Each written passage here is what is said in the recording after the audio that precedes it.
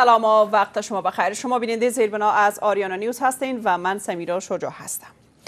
اتحادیه شرکت های ساختمانی با پوشیدن کفن به حکومت هشدار می دهند که اگر تا روز یک شنبه وزارت داخله بدی های آنها را پرداخت نکند خود را آتش خواهند زد.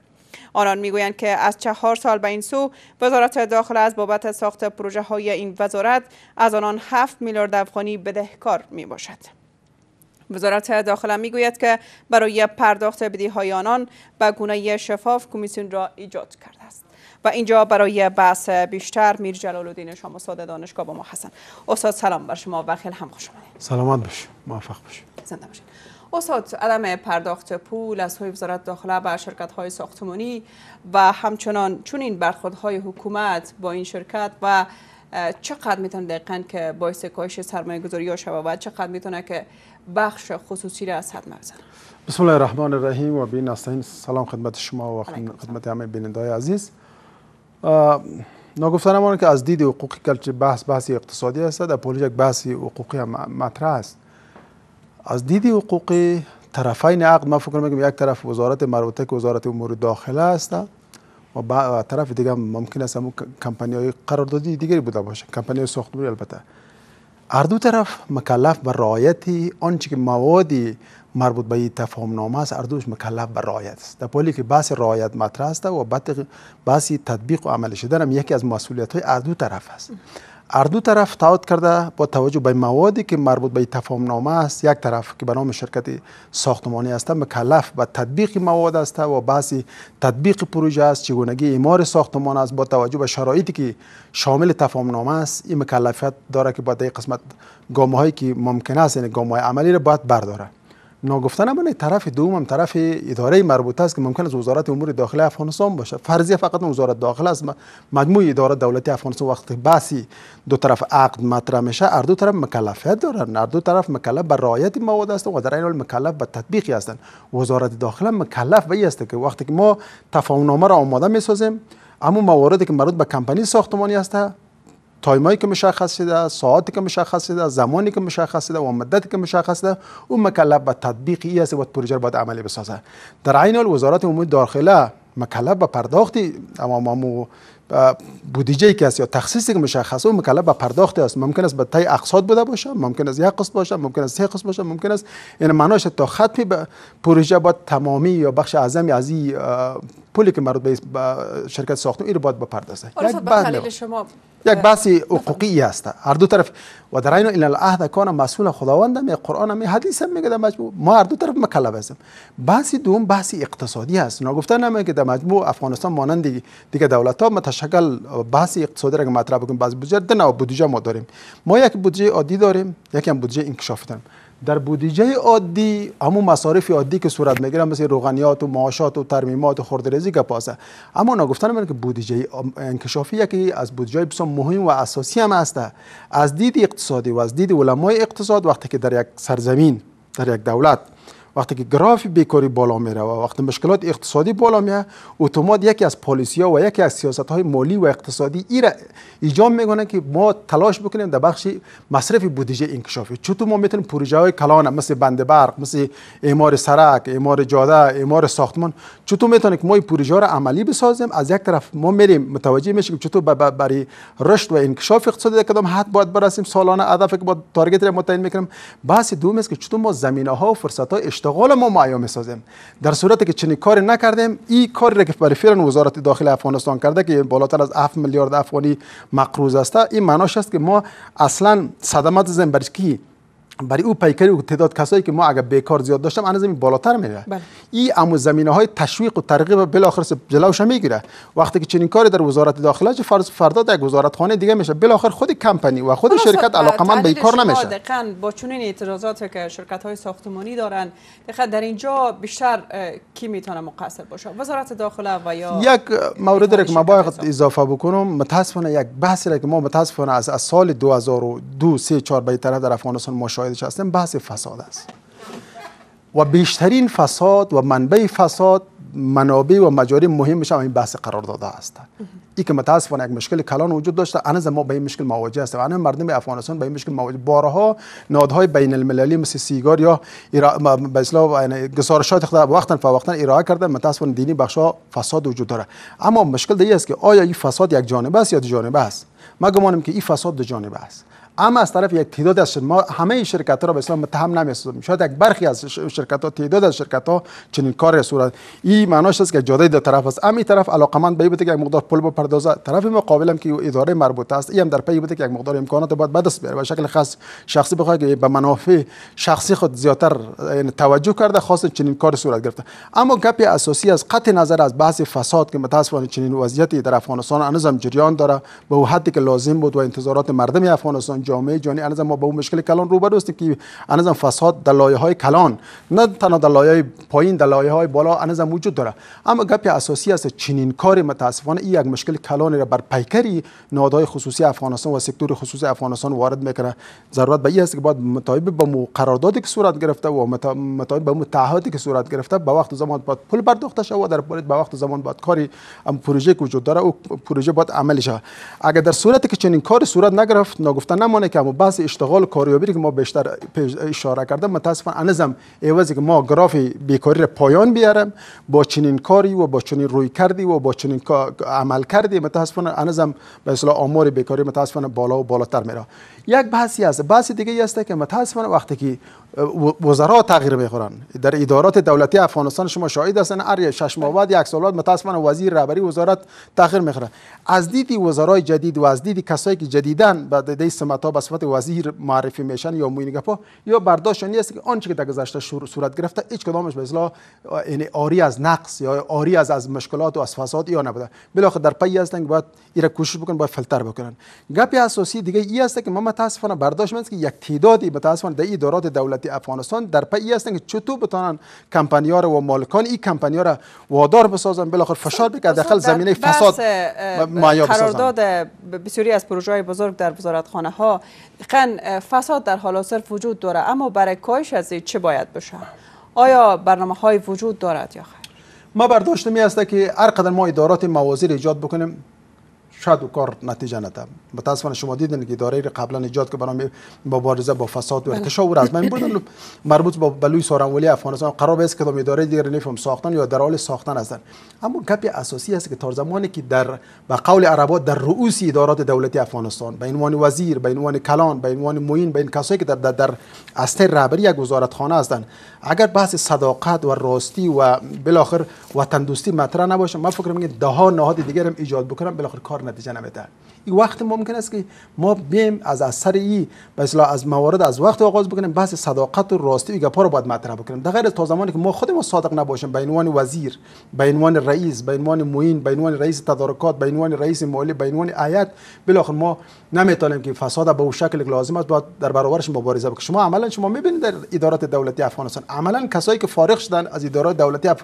فارغ هدف است که ودا گفتن با ادارات دولتی افغانستان. تعداد زیاد کسایی که صاحب چندین بلند منزل شده امروز ما در دفتر خود این بحث داشتیم بالاخره قرار باشه که یک کمی محاسبه شه این آدم امکانات از جا پیدا کرده بله. همین بلند منزلی که با معاش 20000 و 30000 و یک افغانی دو افغانی ممکن است یک آدم با بالاخره به ظرف دو ماه سه ماه صاحب چندین بلند منزل شه.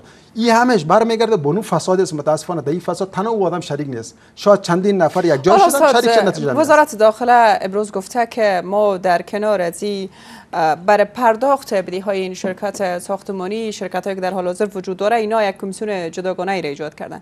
دقیقا نتیجه این کمیسیون که در اونجا چه کارهای صورت می‌گیره چه هست؟ یعنی دقیقا چه کارهایی رو ما برداشتیم از خانم سمیرا. اول که ما یک چیز رو به نام بودجه میگم. قاعدتا بودجه سالانه در آغاز قبل از اینکه سال جدید مالی باید بیا ایبرا با پارلمان با تصویب شود. خیلی وقتی که شا... بودجه به تصویب می‌رسه همین بدیهایی که وجود داره سالانه چرا از, از از یک سال به ده سال چرا بمانه؟ چرا از یک سال به چهار سال بمانه؟ دلیل چی هسته؟ چی دلیل وجود داره؟ معناش از مشکلات وجود داره گپای وجود داره منافع شخصی وجود داره. اگر قرار باشه منافع شخصی وجود نداره از لحاظ همو بودجه بندی و تصمیم بندی که وجود داره چطور ممکن است که پارلمان افغانستان بخشای کمیته های مربوط به بودجه گپا و وزارت مالی افغانستان چطور مقروضیت ده سال قبل انظم شامل بودجه می‌سازه؟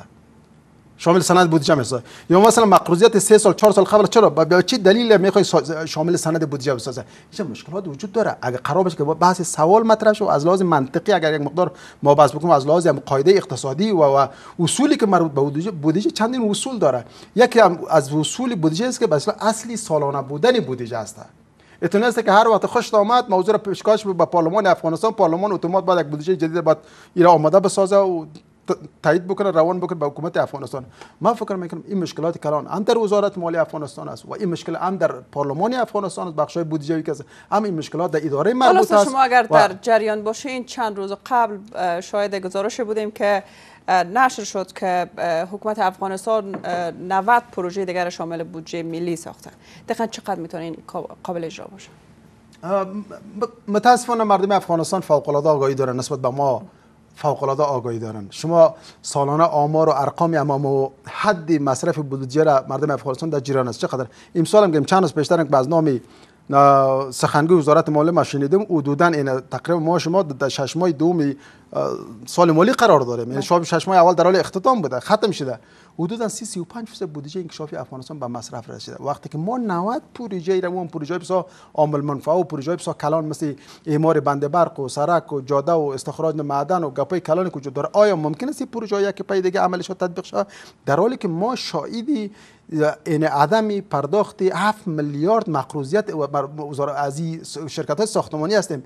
چطور ممکن است همین شرکت های ساختمانی چی داخلی است و چی خارجی است آماده شود با, با ادارات دولتی افغانستان بیان به موافقت نامه را امضا کنم برای ایمار یعنی چنین یک پروژه. من فکر می‌کنم یک یک بحث کلانی است بحث کلانی است که یک تعدادی متاسم در ادارات دولتی افغانستان خواستن که اذهان مردم افغانستان مخشوش بسازن. گویا که ما در سال مالی 1397 حدود 90 پروژه ما خواستیم به اصطلاح شامل بودجه بسازیم و در این در پای عملی کردنی باشیم. در حالی که یک پروژه شما ببینید که حداقل او در صورتی که یک نیم سال در بر بگیره 5 سال در بر می‌گیره در صورتی که 3 سال در بر بگیره او حداقل 7 سال در بر بگیره. برداشت می است که هم عدم صداقت وجود داره عدم تعهد وجود داره و در پولیش است که ما از امو ظرفیت لازمی که ادارای دولتی افغانستان اداراتی که خواستن پروژه های کلان وظیفهشان تطبیق پروژه است بخش سکتوری است متاسفانه هم فوق العاده ما مشکل داریم. در ما نتونستیم انکشافی دقیقاً چقدر بخش های ساختمانی جا داده شده امسال؟ ما برداشت میستیم که همین وقتی که شما پروژه انکشافی میگین اعمار بنده بر اون خودش یک پروژه کلان انکشافی است. وقتی اعمار سرک القوی میگین عملا مربوط به پروژه پروژه انکشافی میشه. به استثنای بعضی ترمیمات خردریزی ساختمان خردریزی که مربوط به ادارات دولتی افغانستان است. اما تمامی ساختمانهای بزرگ تمامی پروژه های بزرگ که پیشتر من اشاره کردم این یا از جمله شامل بودجه انکشافی است. در صورتی که ادارات دولتی افغانستان و در مجموع دستگاه اقتصادی افغانستان کمک توجه بکنند در قسمت در قسمت تطبیق یا در قسمت مصرف بودجه انکشافی و در قسمت تطبیق پروژه های انکشافی ما فکر می‌کنم ایمی آماری که ما داریم به نام آمار بیکاری بالاتر از چندین میلیون انسان بیکار است. و خط فقر هم گپش رسیده در 55 یا 56 فیصد. این معناش است که ما در مجموع ادارات دولتی افغانستان توانایی مصرف این بودجه رو نداریم. ما یک بحث دیگه یک چند وقت بیشتر از اعظمی آدرس شما ما داشتم. متاسفانه بعضی ادارات دولتی افغانستان وقتی که بحثی مصرف بودجه مطرح میشه اتومات بیا بدن اینقدر موتور آیلکس بگیرین اینقدر ساختمان ها رو نفهم ترمیم بکنین اینقدر رنگمالی باید بکنین. گویا که ما بودجه انکشافی خود مصرف کردیم. سال مالی دقیقاً برنامه‌ریزی ها چگونه باید باشه که بتوند تا پایان سال مبلغ تعیین شده اینا به مصرف برسن؟ ما برداشت است که در قسمت ساختن صنعت در قسمت تر بودجه و اسنادی که مربوط به بودجه شاید هیچ مشکل وجود نداشته باشه. عین کاپی که ما داریم در بیرون اون رو کاپی کردیم در افغانستان آوردیم. هیچ مشکل وجود برای اسناد هیچ مشکل وجود نداره. گپ اساسی ما و مشکل کلان ما بر تطبیق پروژه است. برای مصرف بودجه است. این بودجه چطور مصرف میشه؟ به کجا باید مصرف شود؟ اما بازدهی در کدام حد است؟ و بحثی کاریابی در کدام حد است؟ و بحثی رشد و انکشاف اقتصادی که ما مطرح می‌کنیم هر روز وزیر سب اقتصاد اشاره می‌کنه تا سال 2020 ما اینقدر قدر رشد اقتصادی می داشته باشه. من نفهم از کجا می داشته باشه. وقتی که ما هر روز هر سال بلا وقفه آمار بیکاری ما فیصدش بالا میره. وقتی که آماری فقر ما چند سال پیشتر بله چند سال پیشتر گپش در سی چند فیصد ولی فقر ما گپش رسید در 56 55 فیصد. این من نفهم که رشد اقتصادی از کجا از کدام آدرس یا می‌خوایم بحث رشد اقتصادی مطرح بکن. اما معناش است که همه برمیگرده به کمکاری بعض ادارات دولتی افغانستان عدم تعهد و صداقت مردم. شک وجود دارد اقتدار در مسئولین ادارات دولتی افغانستان فوق العاده دلسوز هستند. اما متاسفانه یک بخش دیگه شان این مشکلات خود دارن.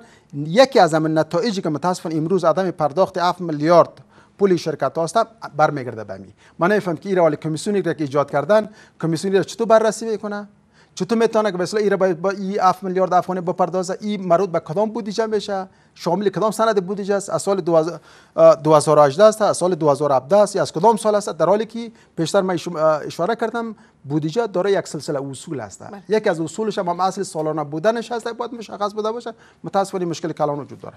حالا اساد اعتراضات که در حال حاضر اتحادیه شرکت های ساختمانی دارن اینا وقت دادن به وزارت داخله که تا فردا اگر بدهی های آنها پرداخت نشه اینا خود را آتش خواهند زد. دقیقا شما اساد برای این چالش چه راه حل را پیشنهاد می‌کنید؟ ما گمان می‌کنیم که تنها از وزارت داخله مالی نیست.